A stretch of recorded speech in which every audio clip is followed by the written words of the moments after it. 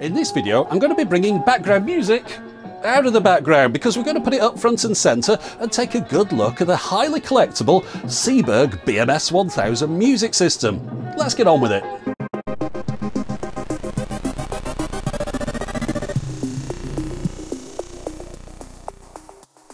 Background music machines first arrived on the scene in the US after World War II, although they only really started to become popular in the late 1950s. Much of the increase in popularity could be put down to pseudo scientific studies sponsored by Muzak, who were the largest providers of background music systems. These studies showed that playing background music in offices and factories would increase worker productivity. To give you an idea of how these studies provided the results that Muzak required, Consider this example. Muzak had two different types of music, a more mellow one for offices and then an upbeat one for factories. Their music was primarily transmitted over FM multiplex signals to the location. So if you wanted to broadcast to both offices and factories, they'd need two different FM transmissions. So they produced a scientific study that showed that background music was much more effective if it was only played for 15 minutes and then silence for 15. And of course, this then meant that the same FM transmission could play to both offices and factories, and the base stations would have timers that switch the receiver on and off at the appropriate times. I think that's pretty crafty. However, despite the dubious nature of the claims for background music, companies ate it up, and by the early 1960s it was a multi million dollar industry, so it naturally attracted interest from a number of competitors. The most successful of these other companies was Seeburg, the jukebox manufacturer, and they brought out their Seeburg 1000 system. Now, I should point out that in some parts of this video, I've been calling this the Seeburg BMS 1000, which is probably not strictly correct. It's either the Seeburg 1000 or the BMS for background music system, but I'm sure you're going to give me a pass on that. Anyway, the Seeburg system, rather than being received by airwaves or through leased telephone lines, was distributed on vinyl records. Let's go back to Liberace to explain more. The discs used in the BMS 1000 system are non-standard size for records, 9 inches across with a 2 inch diameter hole in the middle. Now a standard LP is played at 33 and a third RPM, these are played at half that speed, 16 and 2 thirds RPM. There's 20 tracks on each side, so 40 tracks on a disc, which is about 80 minutes worth of music on one record. It plays one side and then the other, and then it plays a total of 25 in the machine, so that's where the 1000 comes from, because you've got 40 tracks times 25 discs, that's your 1000. So BMS 1000, 1000 tracks, approximately 37 and a half hours worth of music. And of course, when it gets to the end, it doesn't stop, it stacks them all up again and starts back at the beginning. Now, Seeburg offered three different kinds of music. You had the basic library, the mood music, or the industrial library. If we look at the description on industrial, we can see here that it contains the occasional polka and march, emphasis on popular music, minimum of stringed instruments, unusually rhythmical, overall lively character, but never a rock and roll, designed for industrial plants only. Obviously, up tempo as to make people work quicker. Now, these discs, the most common ones you'll find are the basic library. The box I've got here contains 28 discs because the later machines held 28 rather than the 25 that I mentioned earlier on. This says place in use 1st of October 1968 at the bottom there. Notice the index on the right BA101A, that's to indicate where it goes in the stack. On the opposite is BA101B and it works its way through the stack until the final disc is BA128B. Now, I mentioned that these were collectible, and the reason is because they're not supposed to be here anymore. Every quarter you get a set of seven records in a box like this. You can see at the top here it says remove the records where the numbers apply and match the ones inside the box, then swap them over. So basically you're replacing a quarter of your records every four months.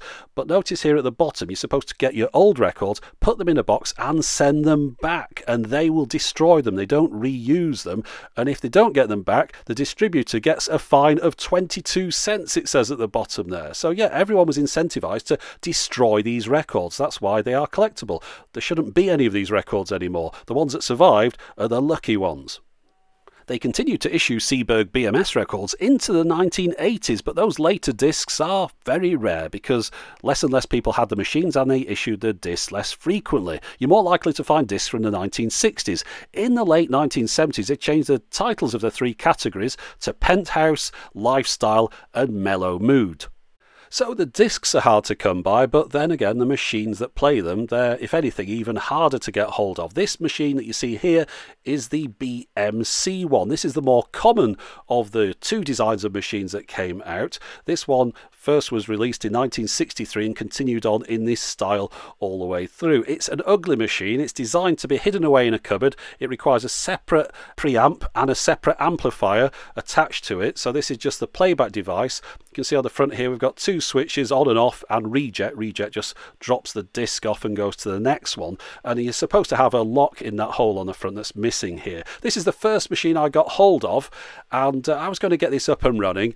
And as it was, it doesn't really work very well. It's got a number of issues. It really needs to be stripped down, taken apart. However, luckily, shortly afterwards, I managed to find the machine I really wanted, which was the BMS one. This is the machine really favoured by the collectors, and unlike the BMC one that you want to hide away in a cupboard because it's so ugly, this one you want to put up front and centre because it's a really attractive looking device. Now, I got mine shipped from the US, which is always a bit of a risk, and sure enough, when I opened the box, there are all these things rattling around inside the bottom of it. I'm sure some of these things are probably quite important, at least I thought so at the time, so I switched it on with a bit of trepidation, but despite my reservations, it fired up and started playing a record.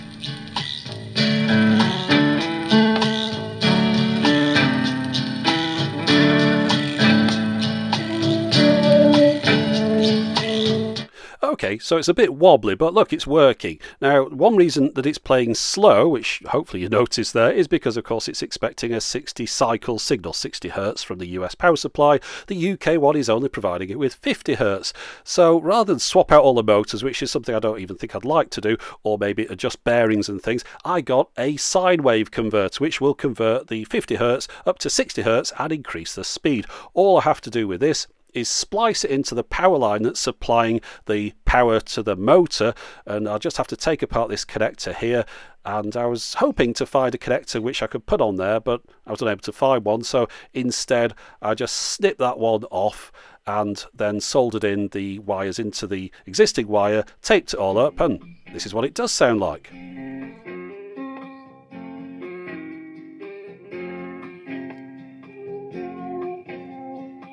Okay, so that's job number one done. The next thing is, of course, it'll need a little bit of oil on that motor. It's obviously running a little bit wobbly there, and it gives you instructions on how to do that. There are two little pipes on the motor. You can see at the bottom and the top, and the idea is to put some motor oil into those, just a few drops, and that should get the motor running a little bit smoother. And I've got some of that oil, so I'll put that in there. It'll take a while to wear in, but the other thing I noticed the disc that I got with it, supplied with it, this one's got scratches already the edge. And I thought, well, how's that happening? Then I had a look, and this turntable at the bottom here it doesn't actually play off that, but it does touch the discs at some point and it's turned to sort of sandpaper on the outside. There's supposed to be a sponge loop on there.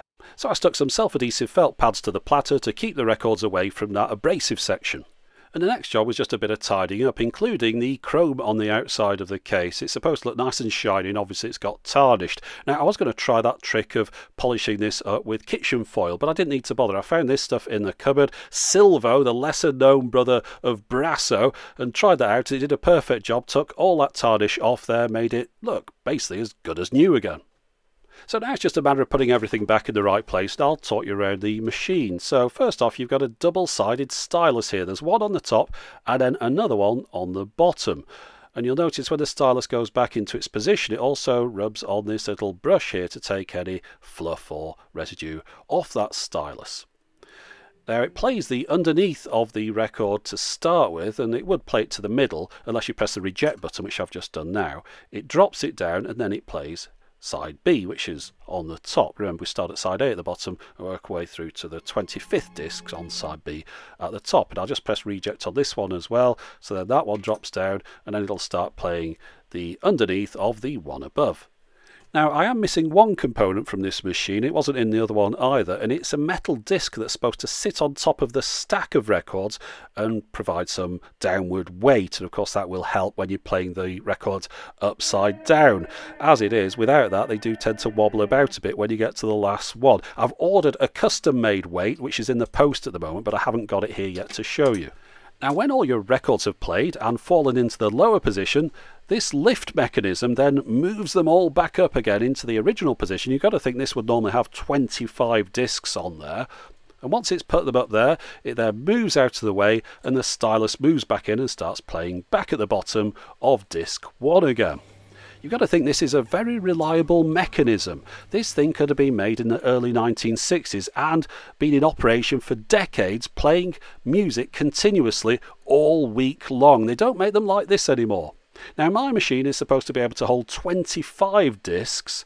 The BMC one could hold 28 according to the specs. You might be able to get 28 in this if you squeeze them in at the top there. Now I'll show you around the back of this thing, although this is the part that's really supposed to be hidden away, not particularly attractive. However, on the left hand side of this we can see we've got various inputs and outputs. You can put a microphone into this to use it as some public address system and you can also wire in things like an external radio. Now I mentioned earlier on that the cheaper, later and uglier BMC machine required an external preamp and amplifier. The BMS doesn't. It has those built in. It also has a built in speaker. This is the kind of thing that rather than being hidden away is supposed to be shown off. You can tell that because it's got a light in it and a window on the front so you can look at the machine in operation. It's the kind of thing that if you had it in a shop, you'd really want to show it somewhere prominent.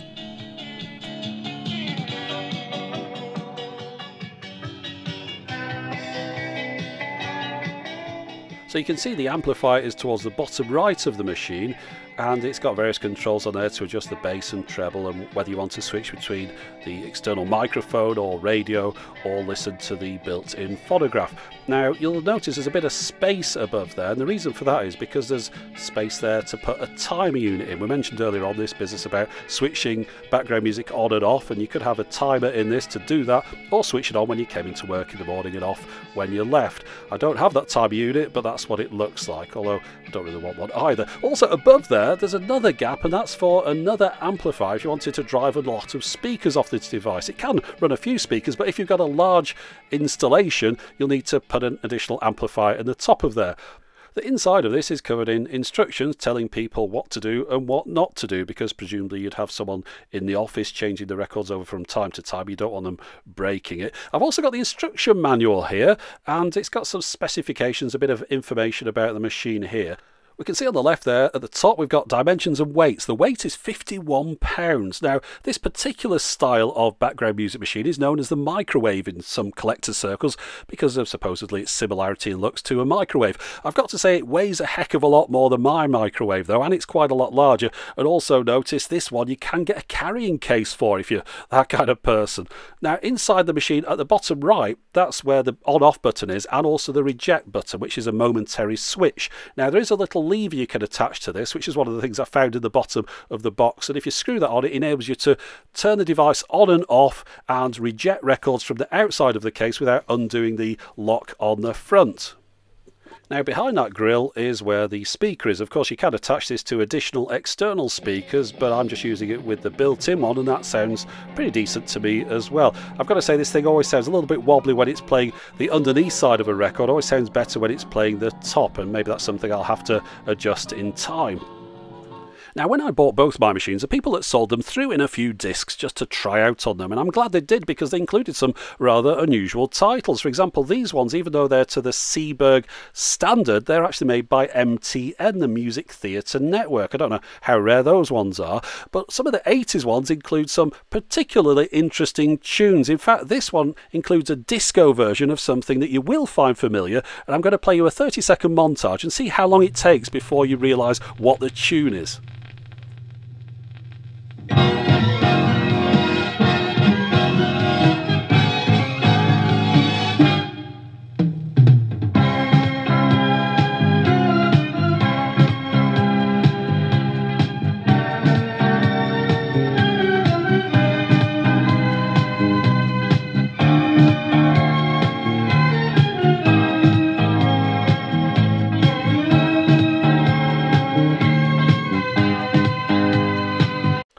Haven't got it yet, that was the theme from E.T. Now, I said it was a disco version, of course, 1982 when E.T. came out. That's a bit late for disco, really, but it definitely feels like that kind of arrangement to me. I'll have a link to it in the video description. Someone's already uploaded it to YouTube, but half of the fun with this machine for me is hearing these unusual instrumental arrangements of popular songs and then trying to figure out what the song is before it finishes.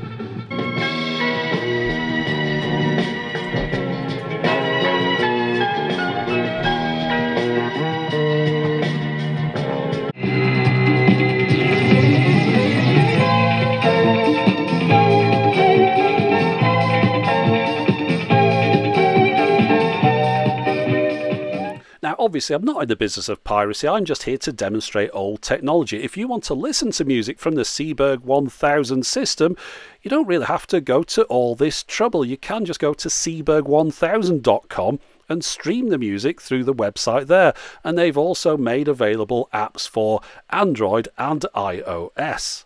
For me, though, a lot of the pleasure about old technology comes from the actual devices themselves, being able to play back the music on the original equipment. Of course, it's much cheaper and more convenient just to tap your finger on a glass screen, but then you miss out on all this.